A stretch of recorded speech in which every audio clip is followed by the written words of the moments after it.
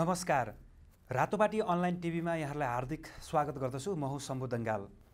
आजदेखि हामीले स्थानीय तहको निर्वाचनबाट निर्वाचित भएका प्रतिनिधिसँगको कुराकानीलाई अगाडि बढाउँदैछौँ। स्थानीय तहको निर्वाचनबाट गाउँपालिकाका अध्यक्ष नगरपालिकाका प्रमुख अर्थात् मेयरसँगको कुराकानी आजबाट हामीले सुरु गरेका छौँ। यसै क्रममा आजको पहिलो कार्यक्रममा हामीसँग कालीकोट जिल्लाको राजकोट नगरपालिकाका प्रमुख काशीचन्द्र बराल हुनुहुन्छ। यहाँलाई स्वागत छ रातोपाटी अनलाइन टिभीमा। यसलाई धन्यवाद। कस्तो लागिरहेछ बिस वर्षपछि भएको स्थानीय तहको निर्वाचनमा कालीकोट जस्तो एउटा दुर्गम जिल्लामा मेयर पदमा निर्वाचित हुनुभएको छ? हजुर अब यो त पहिलो नयाँ नै अनुभूति भएको छ मलाई। हुन त योभन्दा अगाडि पनि मैले चौन्नको निर्वाचनमा तत्कालीन गाउँ विकास समितिको अध्यक्ष भएर पनि म निर्वाचित भएँ। त्यति बेलाको र अहिलेकोमा मलाई अलिक फरक चाहिँ अनुभूति भएको छ। त्यति बेला वास्तवमा अधिकार विहीनताको स्थिति र एक खालको केन्द्रद्वारा नै बढी शासित हुनुपर्ने जस्तो महसुस हुन्थ्यो भने अहिले अब पुरै एउटा अधिकार सम्पन्न जनताको सारा काम कारबाहीलाई नजिकबाटै कार्यान्वयन गर्नुपर्ने थलोमा पुगेको हुँदा अहिलेको स्थिति वास्तविक जनप्रतिनिधिको महसुस हुँदैछ। पहिलो निर्णय के गर्नुभयो निर्वाचित भइसके पछाडि। पहिलो कुरा त हामीले अब निर्वाचित भइसके पछाडि अब शपथ ग्रहणको कार्यक्रम सक्यौँ र शपथ ग्रहण पछाडि कार्यभार लिइसकेपछि मैले अहिले त्यहाँ राजकोटमा पहिलो कुरा हामीले प्लान निर्माण गर्नुपर्ने भएको हुनाले अब प्लानलाई व्यवस्थित गर्नका लागि हामी अहिले त्यसको सूचनाहरू केन्द्रीकरणकै उसमा लाग्यौँ र दुईवटा निर्णय सबभन्दा पहिले गऱ्यौँ हामीले। एउटा त्यहाँको बजारको सरसफाइ र त्यसको व्यवस्थापन नगरभरिको सरसफाइको एउटा व्यवस्थापनलाई अनिवार्य अभियानको रूपमा लैजाने र अर्को चाहिँ खानेपानीलाई व्यवस्थित गर्ने नगरको खानेपानीलाई व्यवस्थित गर्ने भन्नेमा दुईवटा निर्णय गरेर हामीले अहिले प्रारम्भिक रूपमा कार्य सुरु गरेका छौँ त्यहाँ। यति बेला एउटा चर्चामा आइरहेको छ धेरैजसो गाउँपालिका प्रमुख तथा नगरपालिका प्रमुखले सामाजिक सुरक्षा भत्ता बढाए पहिलो निर्णय नै त्यो गरेका छन्। तपाईँले चाहिँ खास गरी के यो सरसफाइलाई अलिकति बढी जोड दिनुभएको? हो। हामीले अहिले सरसफाइ र खानेपानी नै जरुरी छ पहिलो भनेर हामीले एउटा निर्देशनात्मक मात्रै यो हो। निर्णयकै हिसाबले त हामीले निर्णय लिएका छैनौँ। अब निर्देशनात्मक ढङ्गले त्यो कार्यान्वयन गर्ने भनेर गएका छौँ। अब कालीकोट भन्ने बित्तिकै एउटा दुर्गम जिल्लाको झझल्को आउँछ सबैलाई र आफैमा पनि अलिकति पिछडिएको क्षेत्र अन्तर्गत नै पर्छ। कालीकोटमा तिनवटा नगरपालिका रहेछन्। तपाईँ अब एउटा नगरपालिकाको प्रमुख पदमा पुग्नु भएको छ। के गर्नु हुन्छ तपाईँले? चुनाव अगाडि के प्रतिबद्धता व्यक्त गर्नुभएको थियो? अब के गर्नुहुन्छ यहाँले? हो समझी अब खास गरी हामीले निर्वाचन ताकै हाम्रो पार्टीको योजनामा हामीले अट्ठाइस बुधे एउटा घोषणापत्र जारी गरेका थियौँ। र अब निर्वाचनमा जाँदै गर्दा राजकोट कस्तो बनाउने? हामीले खास गरी हाम्रो पार्टीको नेतृत्वमा अब समुदायले हामीलाई एउटा पुरै अभिमत दिएर ल है गर्नुहोस् भनेर जिम्मा दिइसके पछाडि हामीले जे हिजो प्रतिबद्धता जाहेर गरेका थियौँ त्यही प्रतिबद्धताको वरिपरि रहेर नै हामीले गतिविधि चलाउने कुरो त पहिलो भइहाल्यो। त्यसभित्र हामीले के भनेका छौँ भने अब राजकोटको विकास गर्ने मात्रै कुरा भएन त्यहाँ। विकाससँगै सुशासन र त्यहाँको समग्र राजकोटको गोल भनेको नै हामीले के भनेका छौँ भने अब सुन्दर र समृद्ध राजकोट। यसको खास हामी जान खोजेको त्यहाँ हो। त्यसैले सुन्दर र समृद्ध राजकोट बनाउनका लागि हामीले पहिलो प्राथमिकतामा अहिले ऊर्जा उत्पादन भनेर हामीले केन्द्रित गरेका छौँ। त्यसपछि हामीले सडक सञ्जाललाई व्यवस्थित गर्ने भनेका छौँ।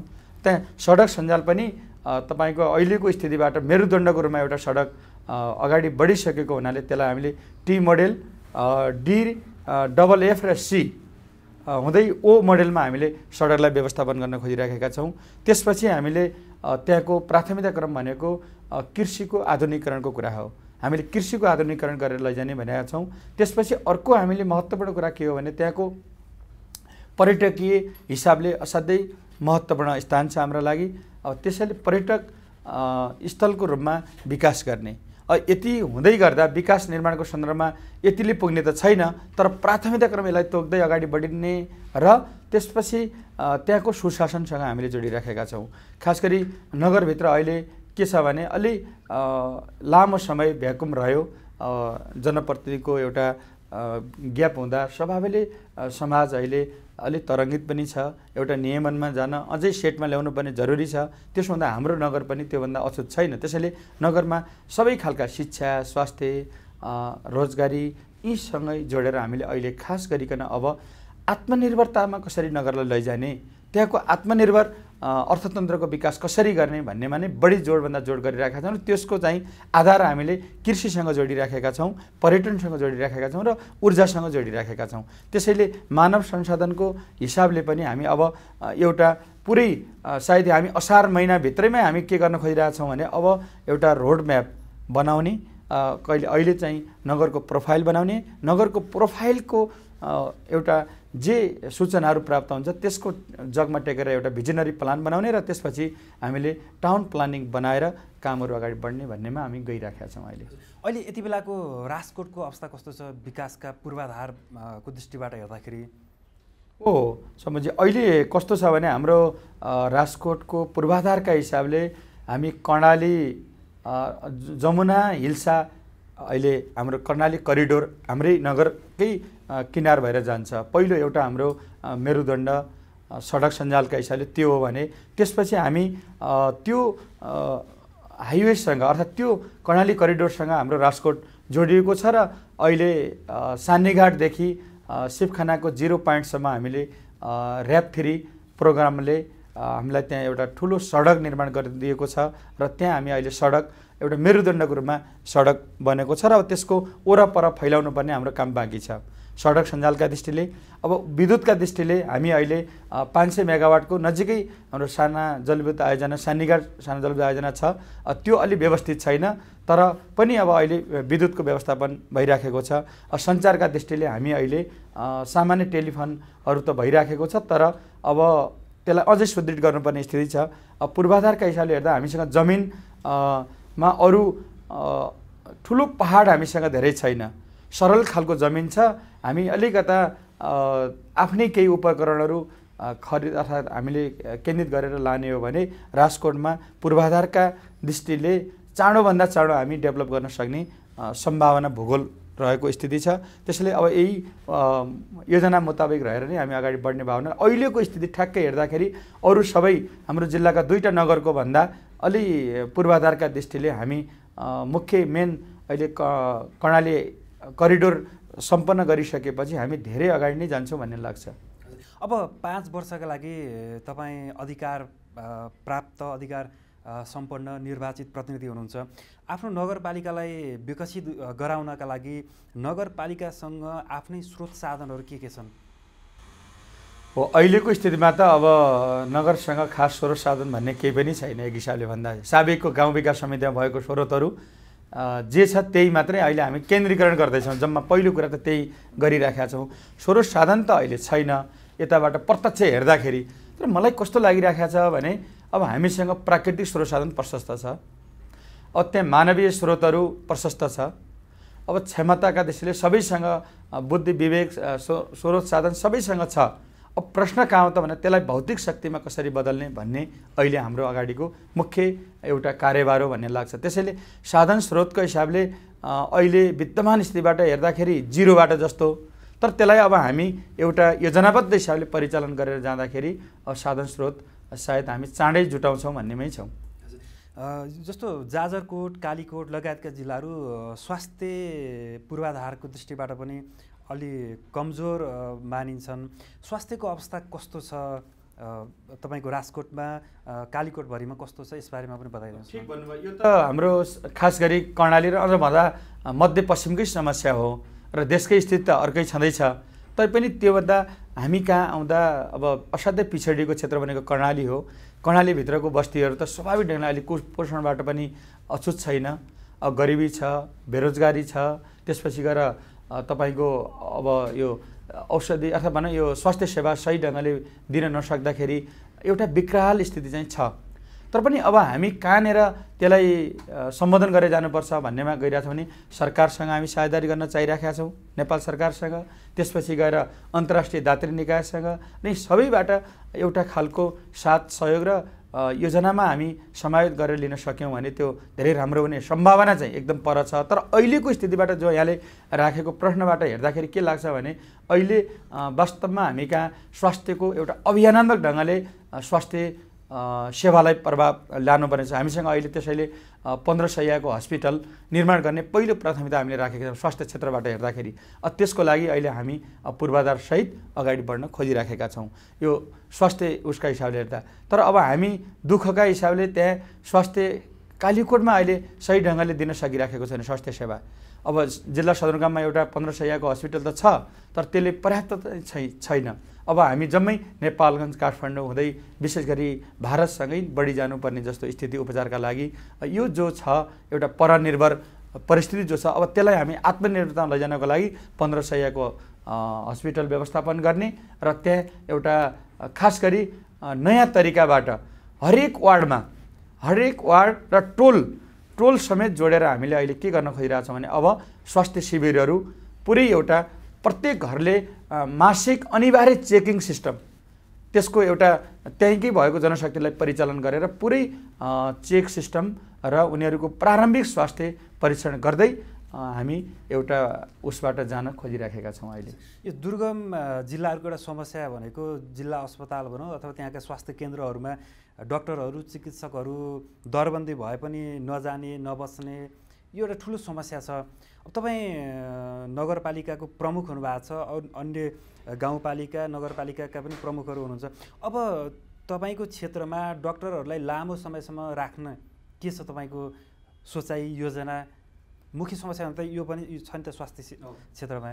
हो एकदम। यो चाहिँ समस्या सिङ्गो नेपालकै समस्या हो दुर्गम क्षेत्रहरूमा अब प्राविधिक जनशक्ति गएर बस्न नसक्नु मात्रै स्वास्थ्यतर्फ मात्रै छैन। आज अलिकता पढे लेखेको अलि अध्ययन गरेको अलि माथिल्लो ओहदामा गएका कोही पनि मान्छेहरू दुर्गममा बस्न चाहिरहेका छैनन्। यसको पछाडि के हो त भन्दा सहरतिर को ध्यान केन्द्रित हुने जो चेत छ प्रवृत्ति जो छ सुविधा सम्पन्न सबै सहरतिर हुने ग्रामीण इलाकातिर केही पनि नहुने जो एउटा खालको असमान विकास असमान परिपाटी जो सिङ्गो देशको रह्यो त्यसको एउटा त्यसले पनि एउटा प्रभाव पार्यो भन्ने लाग्छ। पहिलो कुरा त। दोस्रो कुरा त्यसभित्र एउटा सोच्ने सकारात्मक सोचका साथ म दुर्गमै गएर गर्छु है भन्ने त्यो एउटा जनशक्तिको पनि अभाव रह्यो। त्यो खालको सोच भएका। तर पछिल्लो स्थिति त्यो चाहिँ छैन भन्ने लाग्छ मलाई। अब क्रमशः यो एउटा बदलिँदै आइराखेको छ आज। त्यसैले हाम्रो नगरको तर्फबाट यो जनशक्तिलाई त्यहाँ गर्ने दुई तिनवटा कुरा हो। पहिलो कुरा जो जनशक्ति त्यहाँ सेटल भएर जान चाहन्छ अथवा गइरहेको छ उहाँहरूको परिवारको सारा जिम्मेवारी व्यवस्थापन गर्ने प्रश्न हो। त्यसैले उहाँहरूलाई राम्रो सेवा सुविधा दिने प्रश्न एकातिर। अर्कोतिर त्यो दुर्गमका जनतालाई सेवा दिनुपर्छ भन्ने स्वयं भावना प्रेरित गराउने कुरा। त्यो खालको एउटा मानवीय संवेदना उहाँहरूमा जगाउने कुरा अर्को महत्त्वपूर्ण पक्ष छ। त्यसपछि हामी त्यहाँको समुदाय सबै मिलेर त्यस्ता जनशक्तिलाई एउटा कोही जागिर खाने मुडमा मात्रै त्यहाँ मान्छेहरू आउँदैछन् भन्ने नबनाइकन हाम्रा परिवार हाम्रो राजकोट नगर अथवा हाम्रो त्यहाँ दुर्गमकै समुदायका मान्छेहरू हो उहाँहरू सेवा गर्ने र एउटा सहभागितात्मक साझेदारी उसमा लागिराख्नु भएको छ भन्ने वातावरण सिर्जना गरेर उहाँहरूलाई लाग्छ। मलाई लामो समय उहाँलाई टिकाउने र त्यहाँ बस्ने र खास गरी स्थानीय जनशक्ति त्यहीँकै जनशक्ति नै बढीभन्दा बढी उत्पादन गरेर यसको एउटा हल हुन्छ भन्ने लागिरहेको छ। त्यसैतर्फ हामी अगाडि बढ्छौँ अब। यति बेला हामी कालीकोट जिल्लाको राजकोट नगरपालिकाका प्रमुख काशीचन्द्र बरालसँग कुराकानी गरिरहेका छौँ। उहाँ नेकपा माओवादी केन्द्रका तर्फबाट एक्काइस सय पन्ध्र मत ल्याएर स्थानीय तहको निर्वाचनमा विजयी हुनुभएको थियो। उहाँका प्रतिद्वन्दी नेकपा एमालेका मणिराज बरालले अठार सय तिस मत प्राप्त गर्नुभएको थियो। अब अलिकति यो त्यहाँको स्थानीय जनता जनताको बारेमा कुरा गरौँ जस्तो कालीकोटमा खाद्यको अवस्था कस्तो छ? धेरैजसो जाजरकोट कालीकोट लगायतका सुदूरपश्चिमका पश्चिमाञ्चलका क्षेत्रहरूमा चाहिँ खाद्य सङ्कट पनि पर्ने गर्छ। यसको अवस्था कस्तो छ? यसबारे बताइदिनुहोस् न। हो अब यो खाद्य त कर्णालीको त मूल समस्यै हो आजसम्म आउँदा। अब खास गरी राजनीति पनि यसैमा टिकिने र टिकाउने प्रयत्न भयो विगत हेर्दा पनि। अब खास गरी चामलमाथिको राजनीति खाद्यमाथिको राजनीति नै हामी कहाँ गयो। तर यो सधैँ होइन। विगत धेरै सायद पञ्चायतकालभन्दा अगाडिको स्थिति कर्णालीमा हामी परनिर्भर थिएनौँ। खास गरी आत्मनिर्भर नै थियौँ।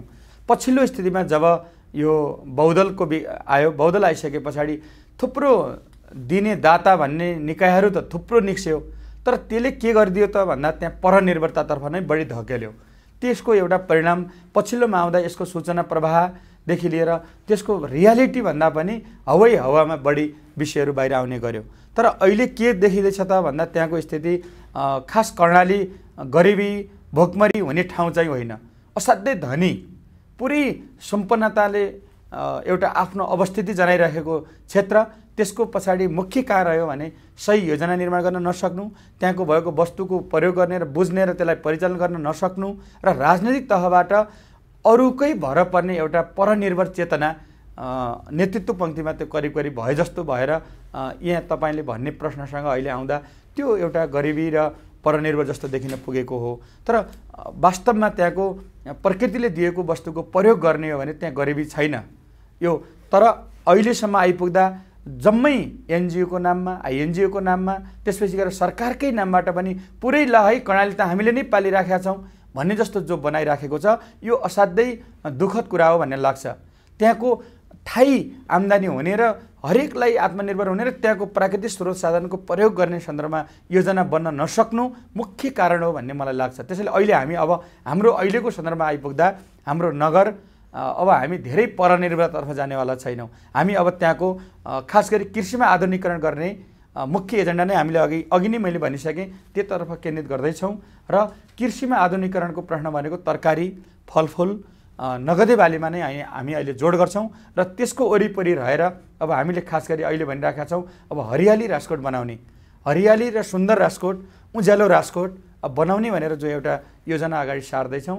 अब यसो हेर्दै गर्दा अब मलाई लाग्छ अब हाम्रा हाम्रो कर्णालीतिरका हामी दुर्गममा रहेका जनप्रतिनिधिहरू अब धेरै परनिर्भरताको पछि हामी लाग्ने छैनौँ। हामी एउटा आत्मनिर्भरताको योजनामा अगाडि बढ्नेछौँ र अब केन्द्रीय सरकारले हामीलाई अझ साधन स्रोतले बढी केन्द्रित गरिदिनु पर्नेछ पहिलो चरणमा सुरुको चरण भएको हुना त्यहाँ गरिदिनु पर्नेछ तर हामी धेरै पछिसम्म केन्द्रीय सरकारकै नै मुक्ताकी राख्नुपर्ने भन्ने छैन।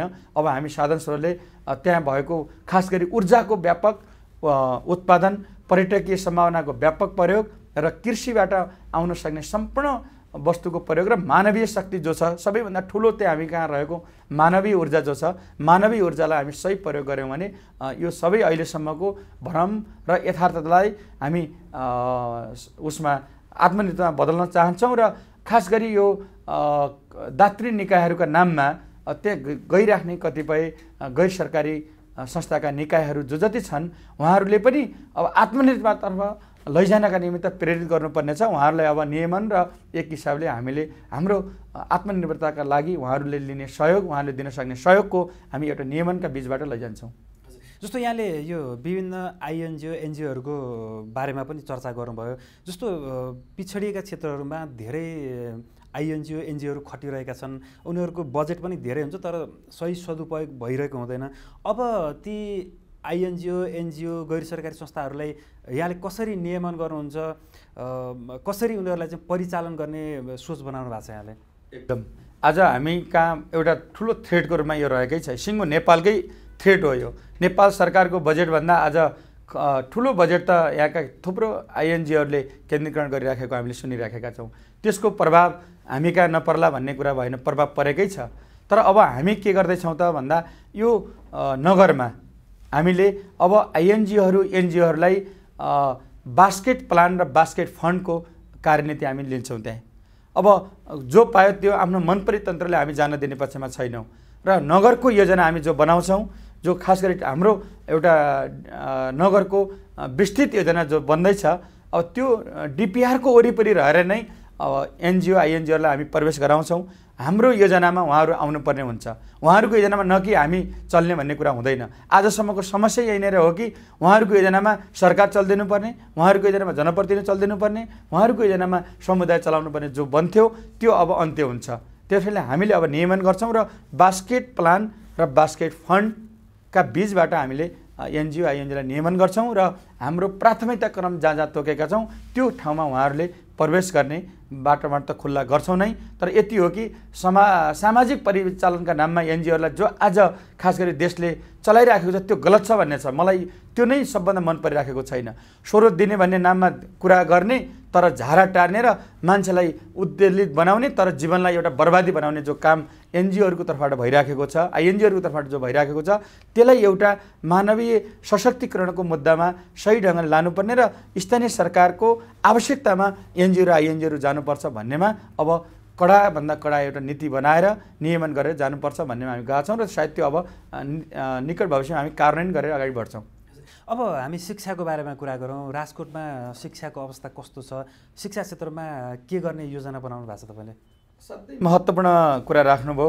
खास समाजको विकासको पहिलो पूर्वाधार भनेको शिक्षै कुरा हो। शिक्षा र संस्कृति कुरा हो। समाज कतातिर लैजाँदैछौँ भन्ने कुरा त्यहाँको शिक्षा संस्कृति कस्तो छ? अर्थात् त्यो समाज कस्तो छ भन्ने कुराको जानकारी दिने त्यहाँको शिक्षा नीति र त्यहाँको संस्कृतिले के जनाउँछ त्यसले निर्धारण गर्छ। भने हाम्रो अहिले के हो त भन्दा शिक्षा वास्तवमा अपेक्षाकृत हिसाबले हेर्दा सन्तुष्टि छैन। शिक्षा प्रणाली जो छ त्यो एउटा खालको जनशक्ति मात्रै उत्पादन गरिराखेको छ। तर त्यो कस्तो छ भने एउटा परनिर्भर जनशक्ति जो उत्पादन भइराखेको छ त्यसलाई अब क्रमशः सिङ्गो देशले नै यसलाई आत्मनिर्भर जनशक्तितर्फ लैजानु पर्नेछ पहिलो त्यो नीतिगत कुरा नै होला। तर अब यहाँ आउँदा हाम्रो नगरसम्म आइपुग्दा हाम्रो त्यहाँ हामीले अहिले व्यावहारिक हिसाबले खास गरी विद्यालयहरू जो चलिराखेका छन् ती चलिराखेका विद्यालयहरूलाई हामीले अहिले दुईवटा कुरामा केन्द्रित गर्दैछौँ। एउटा प्रत्येक स्कुलमा कम्प्युटर शिक्षा अनिवार्य भनिरहेका छौँ अब। अब हामी त्यतातर्फ केन्द्रित गर्दैछौँ। अनि दोस्रो कुरा अङ्ग्रेजी र स्थानीय भाषा। अङ्ग्रेजी भाषालाई पनि हामीले अनिवार्य भन्दैछौँ त्यहाँ र अर्को स्थानीय भाषालाई पनि अनिवार्य गरेर हामी शिक्षा प्रणालीलाई त्यहाँ एउटा चेन्ज गर्दैछौँ। यो शिक्षामा आउने कुरा यो। अर्को कुरा त्यहाँ रहेको जो जनशक्ति छ शैक्षिक जनशक्ति अहिले विद्यालयहरूमा सञ्चालित भइरहेको जनशक्ति पनि अलिकता अराजक ऊबाट गइराखेको छ। त्यसलाई हामी खास गरी विद्यालय र त्यहाँको नगरको एउटा अनुशासन एउटा सुशासनकै घेरामा राखेर हामी लैजान खोजिराखेका छौँ र त्यसलाई एउटा दबाबमा होइन कि एउटा सचेत प्रयत्नबाट उहाँहरूलाई काउन्सिलिङ गरेर हामी एउटा नगरभित्रको सिङ्गो शिक्षा प्रणाली नयाँ जो हामीले बनाउँदैछौँ त्यो शिक्षा प्रणालीभित्र रहेर केन्द्रीय हाम्रो शिक्षा नीतिको वरिपरि रहेर नै त्यसलाई हामीले अगाडि बढाउँदैछौँ र अब शिक्षा हाम्रो खास गरी त्यहाँको व्यावहारिक शिक्षातर्फ बढी जोड गर्छौँ। त्यहाँको स्थानीय भाषामा हामी बढी जोड गर्छौँ र अब त्यहाँ अघि मैले भने जस्तै अङ्ग्रेजी र कम्प्युटर शिक्षामा हामी विशेष जोड गरेर अहिले नगरको शिक्षालाई अगाडि बढाउन खोजिराखेका छौँ। अहिले विद्यालय क्याम्पसहरूको अवस्था कस्तो छ? विद्यार्थीहरूले सहज रूपमा अध्ययन गर्ने अवस्था छ कि छैन? अहिले ठ्याक्कै कस्तो छ भने उच्च शिक्षा अध्ययन गर्नको लागि अब हामी कहाँ त व्यवस्थै छैन भने हुन्छ।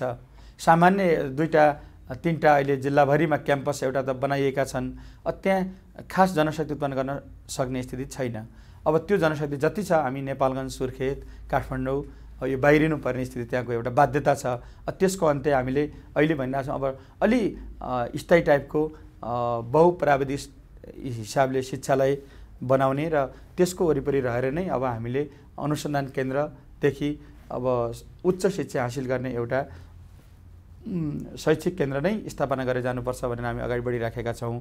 अब अहिले प्रार प्रा यो प्राथमिक र माध्यमिकसम्म त करिब करिब एक हिसाबले धानेकै जस्तो छ तर उच्च शिक्षामा हाम्रो पुगिराखेको छैन। तर प्रा प्राथमिक र माध्यमिकलाई पनि अलि सही ढङ्गले नियमन गर्नुपर्ने भएको छ। त्यसतर्फ गरेर जाँदाखेरि शैक्षिक स्थितिमा अझै ठुलै एउटा मेहनत गर्नुपर्ने छ भन्ने कुरा नै मलाई लाग्छ अहिले। जस्तो नगरपालिकाको विकासका लागि यो आन्तरिक स्रोत जुटाउनको लागि ऊर्जा क्षेत्रको विकासतिर चाहिँ हामी लाग्नुपर्नेछ भनेर यहाँले अगाडि भन्नुभयो। ऊर्जा क्षेत्रको विकासको सम्भावना कस्तो छ? नदीनालाको अवस्था कस्तो छ? ऊर्जा क्षेत्र जलविद्युत उत्पादन लगायतको अवस्थाको बारेमा पनि बताइदिनुहोस् न। एकदम ठिक भन्नुभयो। अब हामीले भन्यौँ हाम्रो नगरको सबभन्दा ठुलो आर्थिक स्रोत र भोलि भोलि हाम्रो नगरको विकासको केन्द्रीकरण अर्थात् विकासको एउटा पूर्वाधारका बिचबाट हेर्दाखेरि सबैभन्दा आर्थिक स्रोत र आत्मनिर्भरतातर्फ लैजाने भनेको नै विद्युत उत्पादन हो। मैले अघि नै राखेँ हाम्रो पहिलो एजेन्डामै रहेको छ। त्यसैले विद्युतको हिसाबले हेर्दा त्यहाँ के छ भने हामी कम्तीमा पनि अहिले नेपाल सरकारसँग साझेदार गरेर चार सय मेगावाटको कर्णाली अब फुकोट जलविद्युत आयोजना। अहिले हामी सुरु गर्न खोजिरहेका छौँ। प्रारम्भिक त्यो इस्टिमेट भएर अब डिटेल तर्फ अहिले गइराखेका छौँ। एक नम्बर कुरा यो। दोस्रो कुरा हामीले अहिले त्यही भनिरहेका छौँ कि अब एक पाँच सय किलोवाटदेखि एक मेगावाटसम्मको नगरले तुरुन्तै विद्युत उत्पादन गर्ने भनेर भनिराखेका छौँ। त्यो चाहिँ हामी तिनवटा कार्यविधिबाट हामी सम्पन्न गर्छौँ। अब हामीसँग अहिले राजकोट नगरमा त्यो चौबिस सयकोदेखि को वरिपरि हाम्रो घर परिवारहरू छ। अब त्यो चौबिस घर परिवारबाट हामी सेयर केन्द्रित गर्छौँ। एकातिर स्रोतका हिसाबले अब सबैको त्यहाँ सेयर अनिवार्य भनेर लान खोज्दैछौँ। उता गभर्मेन्टको अनुदान पनि हामी त्यहाँ केन्द्रित गर्छौँ र त्यसपछि त्यो पनि पुगेन भने हामी बैङ्कहरूसँग अर्थात् त्यस्ता वित्तीय निकायहरूसँग नगरले नै लोन लिएर भए पनि त्यो विद्युत उत्पादनमा हामी पहिलो प्राथमिकता दिन्छौँ र त्यहाँ लाग्ने भनिरहेको छौँ। अहिले सम्भावना हेर्दाखेरि सबैभन्दा ठुलो हाम्रो राजकोटको आम्दानीको मूल स्रोत भने र राष्ट्रको समृद्ध बनाउनमा भूमिका खेल्ने भनेकै नै विद्युत उत्पादन हुन्छ। त्यसैले अहिले हेर्दाखेरि कस्तो छ भने हामीसँग करिब करिब दुईवटा साइडतिर ठुला खोलाहरू छन् र दक्षिणतिर ठुलो नदी बगिराखेको छ जो कर्णाली नदी छ। कर्णाली नदीमै हामीले चार सयभन्दा बढीको मेगावाटको विद्युत निकाल्न सकिने हाम्रै भूगोलतिर छ र भने विद्युत उत्पादनको सबैभन्दा पानीभन्दा पनि हामी कहाँ भूगोलको असाध्यै महत्त्वपूर्ण स्थान हामीसँग भएको हुनाले अब हामी जलाशययुक्त तरिकाले पनि हामी विद्युत उत्पादन गर्ने सक्ने ठाउँ छ। र त्यसपछि प्रत्यक्ष हामीले विद्युत उत्पादन सक्ने पनि ठाउँ भएको हुनाले हामी दुइटै विधिहरू त्यहाँ अपनाउँछौँ र अगाडि बढ्छौँ। हजुर हामी कार्यक्रमको करिब करिब अन्तिम समयमा आइपुगेका छौँ। सरकारले नयाँ आर्थिक वर्षका लागि नीति तथा कार्यक्रम र नयाँ बजेट सार्वजनिक गरिसकेका छ। तपाईँको राजकोट नगरपालिकालाई कति बजेट प्राप्त भएको छ? र यहाँले तत्काल चाहिँ के काम गर्दै हुनुहुन्छ त्यसबाट? अहिले बजेटका हिसाबले अस्ति भर्खरै नेपाल सरकारले घोषणा गरेको अब वक्तव्यमा जो जारी अर्थात् यो आर्थिक वर्ष दुई हजार चौहत्तर पचहत्तरको जो बजेट वक्तव्य जो दिएको छ त्यसबाट हेर्दा हामीले अहिले करिब बिस एक्काइस करोड त भनिएको छ। अब त्योभन्दा अरू थप पनि सायद हुन्छ होला हामीलाई त्यो आशा गरिराखेका छौँ। अब त्यो बजेटको व्यवस्थापन गर्दाखेरि हामीले अहिले त्यो प्रशासनिक अनुदान अन्तर्गत पनि त्यही भनिएको छ। अब बजेट के कस्तो छ कसरी आइराखेको छ भन्ने कुरा हामी अझै प्रश्न छैनौँ। त्यो खोजी गरेर सबै के हो त कति हो भन्ने कुराको एउटा बास्केट फन्डमा सायद त्यो केन्द्रित होला। त्यसपछि हामी नगर सभाले एउटा जो भनिए कि अघि भने जस्तै प्लानहरू केन्द्रित गर्छौँ र त्यही अनुसार नै जान्छौँ हामी यो बजेटको सन्दर्भमा कुरा गर्दाखेरि। अब बजेट अझै त्यतिले पर्याप्त भयो त भन्न चाहँदैन अहिले सकिराखेको छैन। किनभने विगतबाट हेर्दा त अलि ठुलो जस्तो देखिन आउँछ। तर अब सबै प्रशासनिक विकास अब चालु र पुँजीगत दुइटै त्यहाँ हुने हुँदा अब खास गरी अहिले पुँजीगत रूपमा अलिक बढी सोच्नुपर्ने स्थिति देखिन्छ। अब चालु पुँजीले अब एउटा प्रशासनिकदेखि लिएर सबै काम त होला। त्यसैले अहिले यो बजेट पर्याप्त चाहिँ हो भन्ने लाग्दैन। तर अलिकता त्यहाँ नेपाल सरकारले बजेट विनियोजन जो गरिराखेको छ यो यो के आधारले गर्यो भन्ने लागिरहेको छ हुन त तिनवटा आधार भनिराखेको छ। अब त्यहाँ खास गरी भू भौगोलिक स्थिति त्यसपछि जनसङ्ख्याको आधार र मानव सूचाङ्कको आधार। अब कर्णाली जस्तो ठाउँमा मानव सूचाङ्कलाई त सबैभन्दा पिछडिएको चार सय वर्ष पछि परिराखेको ठाउँलाई सरकारले अलि त्यहाँ ध्यान केन्द्रित गरिदिनु पर्थ्यो कि भन्ने चाहिँ लाग्या हो। तर नगरे पनि जे जति आएको छ अब आउने अर्को वर्षबाट सायद सरकारले त्यहाँ ध्यान केन्द्रित गर्ला नै। तर अब हामी स्थानीय स्तरमा पनि अलि स्रोतहरूको अब उत्पादन गर्ने उसमा जुटिराखेका छौँ र त्यो स्थानीय स्रोतहरूको आम्दानीको स्रोत र केन्द्रबाट हुने स्रोतको फ्युजनबाट सायद हामीले अब बजेटलाई सही ढङ्गले व्यवस्थापन गराउँला हस्।